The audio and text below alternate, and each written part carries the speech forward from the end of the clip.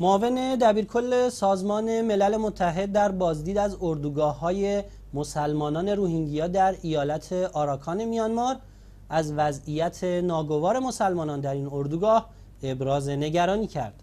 استفان اوبراین معاون دبیرکل سازمان ملل در امور بشردوستانه کمی پس از بروز خشونت در بخش شمالی ایالت آراکان و افزایش درگیری های مسلحانه در ایالت کاچین از این منطقه بازدید کرد.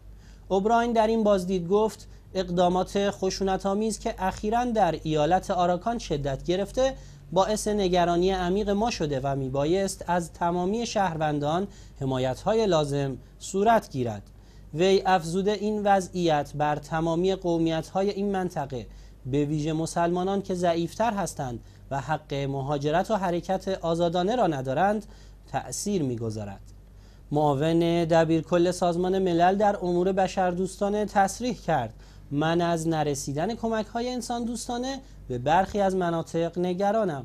به ویژه اینکه بسیاری از کسانی که این کمک ها را دریافت می کنند زنان، کودکان، سالمندان، بیماران و معلولان و افراد دارای نیازهای خاص هستند.